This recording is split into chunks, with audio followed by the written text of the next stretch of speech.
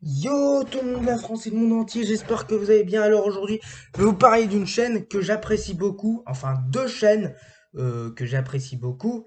Il s'agit de RMC Story et de RMC Découverte. Et c'est parti Alors c'est très simple, RMC Story, je sais que c'est la chaîne où il y a des programmes du genre euh, Le Dernier Pharaon. Bon ouais, mais aussi il y avait eu quoi d'autre? Euh, Il y a aussi Les OVNIs. Ah non, ça c'est RMC Découverte.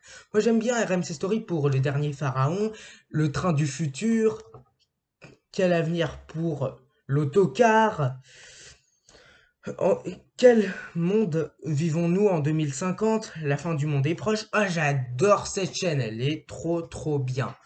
Ouais mais sinon j'aime... Pourquoi même que moi j'ai installé BFM et RMC Energy Play, puisqu'il y a euh, RMC Découverte et RMC Story là-dedans?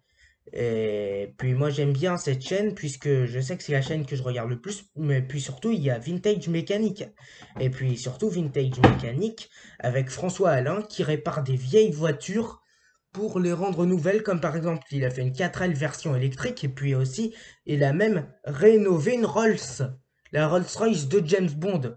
Et ouais les gars, comme quoi RMC Découverte, et- bah c'est vraiment une excellente chaîne déjà. J'aime beaucoup la chaîne euh, RMC Découverte, RMC Story, puisqu'il y a vraiment des bons programmes. Et puis sinon, euh, Faites entrer l'accusé, une émission de divers.